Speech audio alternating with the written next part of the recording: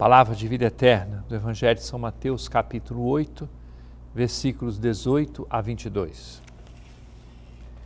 Naquele tempo, vendo a multidão ao seu redor, Jesus mandou passar para outra margem do lago. Então o mestre da lei aproximou-se e disse: Mestre, eu te seguirei onde quer que vás. Jesus lhe respondeu: As raposas têm suas tocas e as aves do céu têm os seus ninhos mas o filho do homem não tem onde reclinar a cabeça. Um outro dos discípulos disse a Jesus: Senhor, permite-me que primeiro eu vá sepultar meu pai. Mas Jesus lhe respondeu: Segue-me e deixa que os mortos sepultem os seus mortos. Querido irmão, querida irmã, que interessante seria eu poder dizer no início dessa semana a você ou a qualquer pessoa, todos os sofrimentos desapareceram, é fácil seguir a Jesus.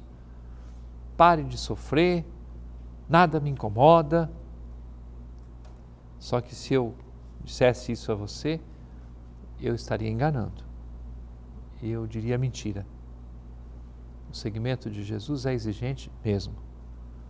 Se você quer viver na verdade, se você quer viver como discípulo do Senhor, se você quer ser cristão de verdade, é bom ouvir Jesus que diz: As raposas têm suas tocas, o filho do homem não tem onde reclinar a cabeça.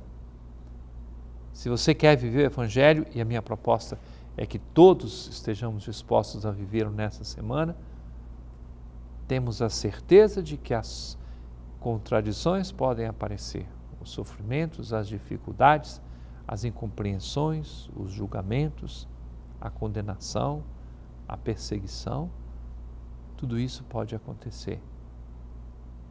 Qualquer pessoa que quer ser fiel encontrará a contraposição. Só que, quando Jesus disse: aquele que quiser me seguir receberá o centro por nessa terra, junto com perseguição e ainda por cima a vida eterna.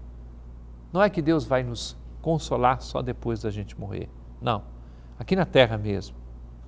Quantas vezes, quando você faz um ato de entrega, de oblação, de dedicação da sua vida, você logo percebe que a resposta de Deus chega e chega bonita para o crescimento das pessoas.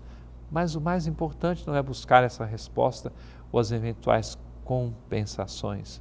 O mais importante é viver como discípulo de nosso Senhor Jesus Cristo e fazê-lo com muita fidelidade. Palavra de vida eterna.